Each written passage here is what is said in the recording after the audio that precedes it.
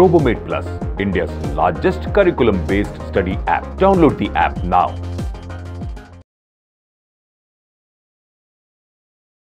Hello friends, let us start with the chapter Cylinder, Cone and Sphere. Now in this chapter, we are going to study surface area and volume of these three objects that is cylinder, cone and sphere. So let us get started with the first object. Now the first object that we are going to learn here is a right circular cylinder. Uh, as I said, we are going to discuss surface area and volume of this right circular cylinder. So the first aspect that we are going to study is surface area. For that, first let us see the examples of a right circular cylinder. So the wheels of this road roller, these wheels are in the shape of right circular cylinder. Other examples are these round pipes which we have here. And next we have these cylindrical candles here. So these are the examples of right circular cylinder.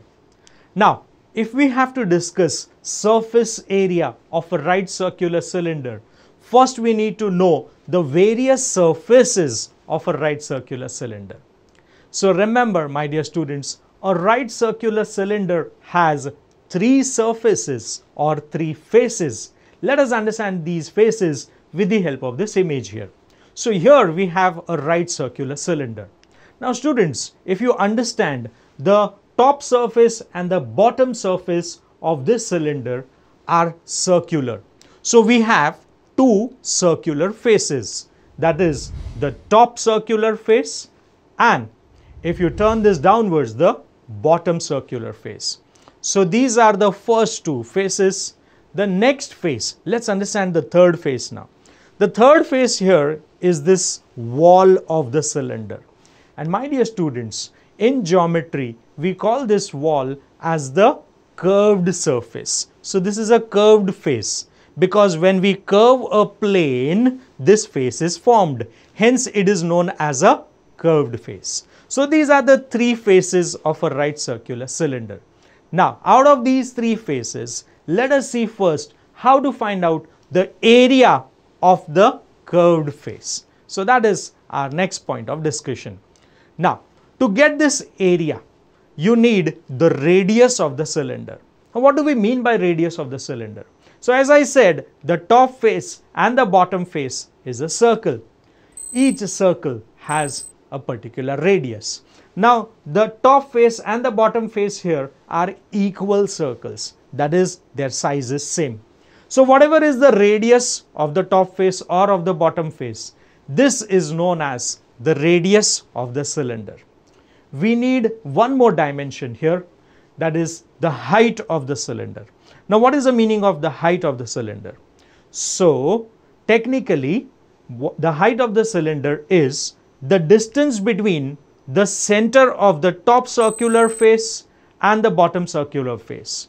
This distance between the center of the top circular face and the bottom circular face is known as the height of the cylinder and it is denoted by h. So we have the radius of the cylinder and we have the height of the cylinder. Now we will be able to express the area of the curved surface. So let us go to this curved surface area which is abbreviated as CSA. Now how to find this curved surface area? So my dear students for that let us understand this small demonstration.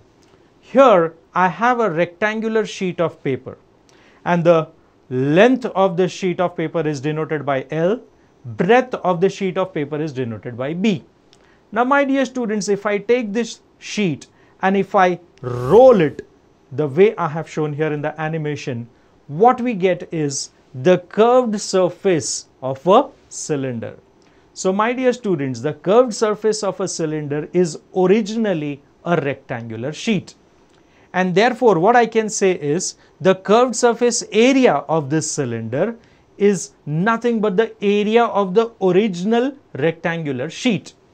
So further the curved surface area of the cylinder will be equal to we know how to find out area of a rectangular sheet. Formula is length into breadth. So the curved surface area of the cylinder becomes length into breadth of this rectangular sheet. Now further, this curved surface area will be equal to, now remember students, when we are rolling the sheet, the length becomes the circumference for the cylinder as highlighted here. So when the sheet is rolled, L will become the circumference and you know the formula for circumference, it is 2 pi r. So here L will be replaced by 2 pi r. Now further, what happens to breadth when we are forming the curved surface of the cylinder? So let us see this. Now the breadth becomes the height of the cylinder. So it will be replaced by h. So the final formula for curved surface area of the cylinder is 2 pi r into h that is 2 pi r h. I hope you understood this. Now let's proceed further. Next let us go for total surface area of the cylinder. Now what do we mean by total surface area? As we discussed there are three surfaces here. When you add the areas of all the three surfaces you get the total surface area. So now let us see how we get the formula of total surface area.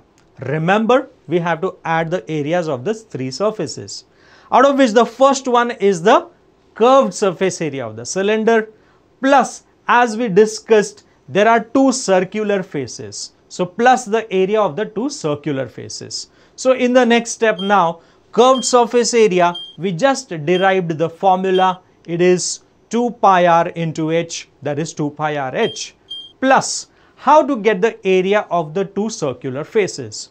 So since the two circles here are of the same size area of the two circular faces will be 2 into area of one circular face.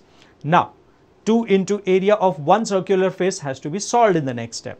So in the next step this is equal to 2 pi rh plus 2 into area of one circular face. How do you get area of a circular face? It is nothing but area of a circle. And the basic formula for area of a circle is pi r square. So the second part becomes here 2 into pi r square. So we get 2 pi rh plus 2 into pi r square. If you observe these two terms, we have 2 pi r common. So in the next step, when you take 2 pi r common, what is left inside the bracket is h plus r which can be written as r plus h and the final formula for total surface area of a cylinder is 2 pi r into r plus h. I hope you understood the second formula.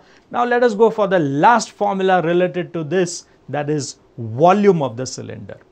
Now, how do you get volume of the cylinder? So the formula for volume of the cylinder is area of the base multiplied by height. So this in the next step. Now area of the base. Since the base is a circular face, we just discussed area of this base is going to be equal to pi r square. Now this pi r square, if you multiply by height that is h, entire volume is formed.